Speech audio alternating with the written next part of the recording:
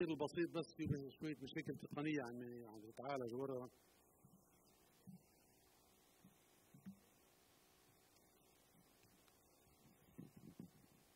مساء الخير.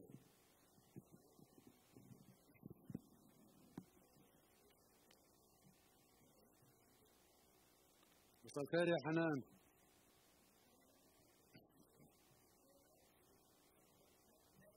آه، بداية نحيطكم علما بأنه معنا في القاعة في مدخل القاعة فريق من مؤسسة أكسس آه، برنامج معالجة تعاطي المواد المخدرة آه، والذي يهدف إلى توعية المجتمع بشكل عام وتوعية الشباب والعائلات بشكل خاص إلى مخاطر تعاطي المواد المخدرة بطريقة غير مسؤولة وضرورة العمل على إنهاء هذه الظاهرة في مجتمعنا وذلك من خلال توفير الإمكانيات اللازمة للوقاية والعلاج. إذا كان عنده رغبة أي أحد منكم بالتواصل في سيدتين على المدخل آه، من أكسس من هذا البرنامج. آه، أيها الأحبة مساء الشعر والجمال. مساء القصائد الراقية والموسيقى الحانية.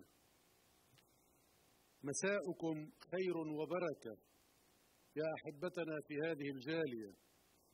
والسلام عليكم كيفما دارت بكم الدنيا وأهلا وسهلا بكم في أمسية جديدة من أمسيات المركز العربي الأمريكي للثقافة والفنون. قبل أن نبدأ أود أن أتقدم بالتهنئة الشخصية والقلبية والحارة لزميلنا في الهيئة الإدارية للمركز الدكتور وسام المليجي أستاذ الدراسات العربية والأدب المقارن في جامعة ميشيغان في ديربورن. لمناسبة تعيينه مديرا لمركز الدراسات العربية الأمريكية في الجامعة. دكتور لو لو بس لو شوية stand up حتى يشوفوا يتعرفوا عليك ال ال الإخوان. وسوف يكون لنا معك يا دكتور وسام قريبا أمسية خاصة تتحدث فيها عن خططك ومشاريعك المستقبلية في هذا المنصب. الجديد. متى سيبدأ عمليا المنصب؟ بداية شهر جولاي. مبروك يا دكتور. أيها الأحبة شو الشعر؟ الشعر مثل البحر مجبول بالأسرار. بيكشف شي كم شي من اناديل السحر.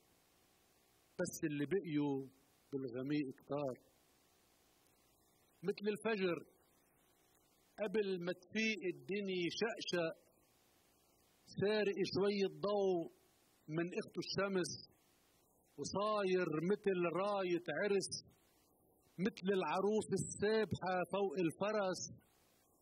جمع سنابل شعشعت على البيدر لحد السما معلق وخمر من كروم الحكي وجوا الخوابي نبيدها عتق. مثل الحقل بمرجته الزنبق نما هو اللي بيفيق براري عمرنا هالنايمة. ما في إله لا مبتدأ ولا خاتمة. هو اللي بيبلش يفتح مواسم للحكي تشرشر على ذيال السماء وهو اللي وحده يختمها مثل كأنه نار من نار الغضب. مثل الرمح خيال ما بيعرف تعب. مثل البيارق طالعة مثل الشموس الساطعة مثل المجد مشرع بوابه الواسعة. تا يستريحوا فوق أرض اللامع حكايات هيك مكتوبة بديوان العرب. مثل العشق شعر مثل العشق تربى ببير الجن مثل البرق بيفتح البواب المرجلة وبيجن مثل القصب بالريح عم يعزف دمع ويحن مثل الصبية العاشقة فارس سكن بمرايتها بتضل تحكي حكايتها للطير للحور غافي عن نهر للسنديان الزارعة وليداتها بالوعر للريح يحمل صوتها بقلب قلبه يرأس الكلمات هيك على الهدى وتضل تحكي هالصبية العاشقة تحكي وتحكي بهالمدى. ومتكن هيك الشعر مثل الفجر مثل البحر مثل الحقل مثل العشق مثل البرق. مثل شي خيمة جمال ناشرة شعراتها فوق الجبال. هيك الشعر بيزرع سكوكع من هنا ووزال. تتذكروا سكوكع؟ من بعد دير باله لسكوكع. بس. لا لا لا لا لا. لك أجمل وردة بالعالم اسمها سكوكع. والوزال أحلى ريحة. ورد هذا الورد الأصفر بيطلع بالبراري لوحده. بيزرع سكوكع من هنا ووزال بيشقع على كتاف الحكي عرزال. كتار اللي نزلوا يدوروا ببحر الشعر. كتار اللي نزلوا يدوروا ببحر الشعر. تا يقطفوا شي جوهرة غير شكل. بس اللي نجحوا بالمهمة ليل. بس اللي نجحوا بالمهمة ليل. أمسيتنا أيها الأحبة مع أربعة من شعراء الجالية ممن غاصوا في محيط الشعر بحثا عن جواهره النادرة. بداية سنكون مع الشاعرة إباء إسماعيل. هي من مواليد حلب في سوريا عضو اتحاد الكتاب العرب جمعية الشعر عضو ملتقى المبدعات العربيات تحمل شهادة الإجازة في الأدب الإنجليزي من جامعة تشرين السورية. وشهادة الماجستير في الأدب الإنجليزي والأمريكي من جامعة إيسترن ميشيغان ودبلوم من معهد الكتابة الإبداعية للأطفال. نشرت العديد من دواوين الشعر منها خيول الضوء والغربة أنت طفولتي في القصيدة صوتي هديل وطن حديقة من وجع التراب أزهر فيك بنفسجا ونشرت أيضا ديوانين من الشعر للأطفال هما ضوء بلادي دروب مضيئة ولها حاليا ثلاثة دواوين قيد الطبع اثنان بالعربية والثالث بالإنجليزية. ترجمت بعض قصائدها إلى اللغات الإنجليزية والبلغارية والتركية. نالت الكثير من شهادات التكريم والجوائز. كانت لمدة من الزمن عضوا في الهيئة الإدارية للمركز العربي الأمريكي للثقافة والفنون. أيها الأحبة رحبوا معي بالشاعرة إباء إسماعيل. تفضل.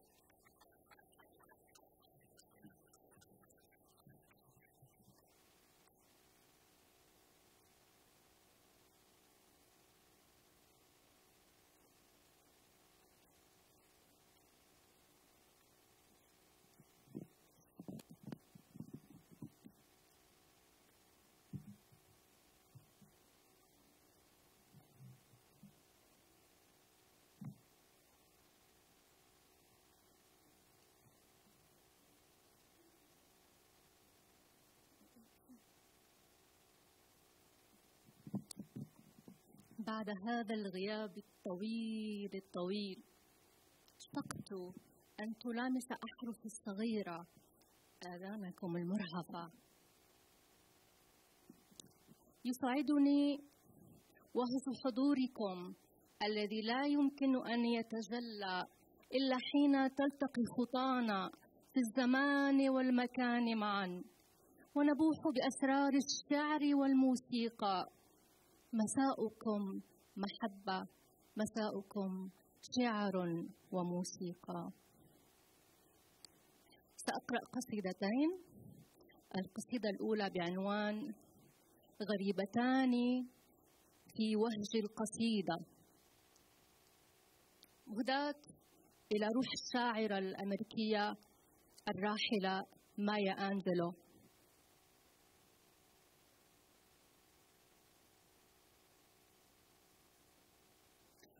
هو طائر لسواده عمق المدن.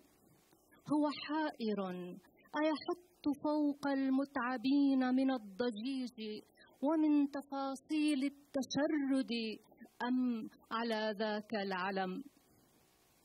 في فسحة الليل المريب مدائن تطفو على وجه العدم.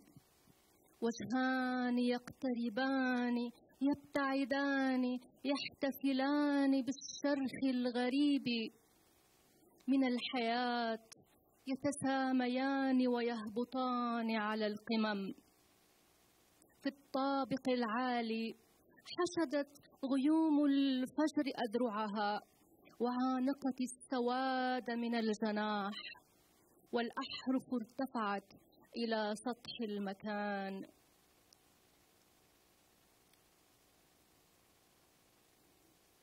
بورتلاند يطل الماء من قسماتها وتعيدني لظلال روحي. أقتفي حلمي أبوح لها كثيرا كامتدادي في يقيني واحتراقاتي. إذا انشقت كهذا اليوم عين سمائها. لا تعرف الإشراق من دمع المطر. حيرة أنا. لا أعرف الوتر المعربد في الحياة أيستكين على ظلال الحب عمرا؟ أم تراه؟ سيهتدي من سكرة ويفيق من وجع السفر.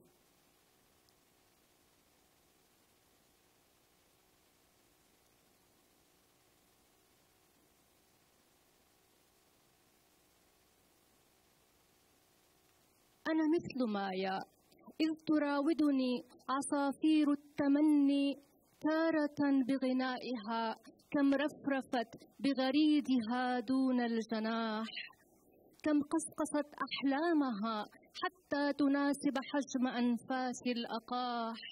تغريدة أخرى سمعناها معا باب سيفتح للفضاء المستنير أطير مع مايا. إذا ما الفجر لاح لم أعرف سر وجودي في هذا الكون المتشقق من آهات البشر يلتحفون رصيف الشارع ليلا ويسدون الأفواه بكيس قمامة. تتجلى لي مايا الآن. وأهلي بحروف من نار البشر المنكوبين وفي قلبي طفل يبكي لفراق حمامة. همست مايا في روحي ولجرأة عينيها خلف تراب الحزن فضاءات تترى. فضاءات تترى بقصائد ورقاء. بقيامة هذه الأحرف بين سطوري حسنا قالت مري بالحرف وبالوقت كجنية شعر تتمشى فوق النار تغرد للطوفان القادم من حجب الأسرار الزرقاء. الوقت حين الصمت يجمعه يفرقه وتسحره اللغات فبأي حرف أبتدي صمتي؟ بأي قصيدة أتأبط المرآة في روحي العميقة حين تجلوها فراستنا الوحيدة قرب نافذة فتحناها معا من غربة من جمرة الآه الخفية. يخرج اللحن المعبأ بالصلاة من كنز أحلام النساء الشاعرات. كان الوقت لها وهدوء, وهدوء الغرفة كان لها وطيور الحرية والشمس المشحونة بالغيم وبالأحزان. كانت باذخة الدفء وإشراقات العشق النوراني كانت مأواها والورد لها. قالت هيا احترقي بشموس الشعر لهيبا يصفو كمياه عطشى للنور جرت تتبع أزهار الماء صبابتها. والآن تنور عبر الشعر طريقا بحريا يصطاد اللؤلؤ والمرجان. أو كوني قوسا قزحيا يدخل غيمة إنسان. المقطع الأخير هو آه، من قصيدتها أو من مقولتها try to be a rainbow in someone's clouds. القصيدة الثانية إحدى القضايا التي أتبناها في الشعر في شعري قضية المرأة وصايا كن أنت أنت هي نصفك الباقي. فعد من حيث كنت. لا لن تكون مثيلها أو مثلها. هي صفحة بيضاء من حبر المواجع بيتها. والشعر أنت. لا تفتقدها في رؤاك. لا تفتقدها في خطاك. ليس السراب يلف أحزان المهاجر. بل أنت حين رأيتها أصبحت شاعر. هو نور عينيها يعانق مهجة من روحك الوهاجة الحلم النبيل يرف في شمس المشاعر. لا العشق خيار لا الكره خيار يسكنك الصحو. ومن قال بأن العشق يغيبنا؟ هو أفق مفتوح دون جدار. هو وشم مثل الشعر ومثل الموسيقى مثل حديقة مينيرفا أو عشتار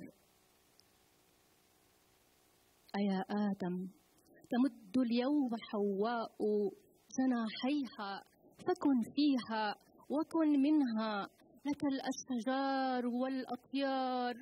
لك الزرع لك الضرع لك المنجم غناها في لآلئها. تجوهر في أناملها خواتم فكرها المطبوع من شغف يناديها. بسحر الشعر نور الحرف يسقيها هي الدنيا فعش فيها بوسع الكون لن تندم.